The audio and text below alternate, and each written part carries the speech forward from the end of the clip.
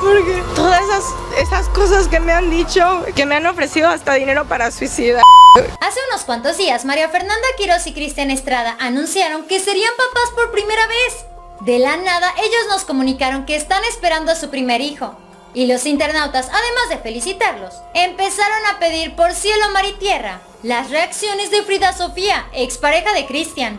La polémica hija de Alejandra Guzmán no se quedó callada, pero en lugar de criticar o decirle algo a Cristian Estrada, ella recordó el momento cuando decidió interrumpir su embarazo, que procreó al lado del ex concursante de Guerreros 2020, porque supuestamente Cristian Estrada la abandonó. A través de una pequeña entrevista con medios de comunicación, la hija de Alejandra Guzmán, Frida Sofía, habló de las razones que tuvo para no tener un hijo, al lado del también modelo, que actualmente está radicando en México. Al inicio del programa, dirigiéndose totalmente hacia Cristian Estrada, Frida le dijo que él sabía perfectamente lo que hizo, algo que no solamente le había hecho a ella, sino a una infinidad de mujeres. Que fuiste a exponer lo de mi aborto.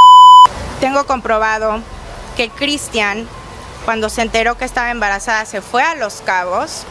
Frida platicó que ella tan solo tenía seis semanas de embarazo. Cristian nunca le contestó el teléfono. En nueve días él no le habló para nada. Frida Sofía platicó que ella no se podía esperar a que el bebé creciera más, asegurando con sus propias palabras que al parecer tienes hasta las 11 semanas para tomarte una pastilla y perderlo.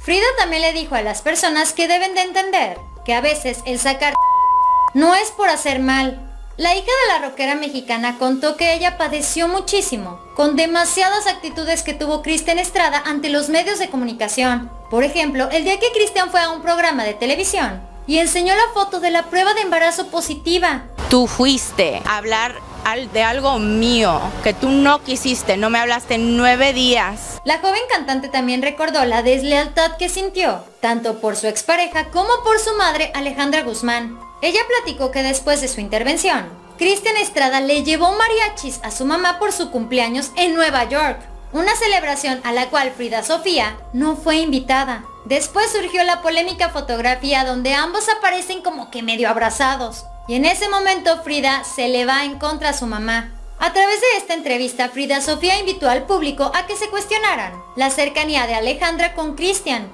mencionando que solamente debemos de pensar ¿Qué hacía Cristian Estrada ahí después de haber terminado con Frida? Ella mencionó que su expareja jamás trabajó con Alejandra Guzmán.